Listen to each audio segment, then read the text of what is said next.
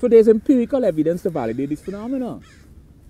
Because we can only hear between 20 to 20,000 hertz, it means that our perception of frequencies are very limited. Is in conflict or contradiction to the, the meaninglessness of the universe. Right. Existentialism now. So you have theoretical, we have inferential, we have empirical, we have, um, um, we have uh, subjective, we have uh, objective, and we have anecdotal. What is light? Why do we see color? Why is the sun red when it's set below the horizon? Why is objects transparent? How does a microphone work? Okay. I'm sort of on the high functioning autistic spectrum here. So because the alpha, you have alpha, beta, delta, theta, and gamma.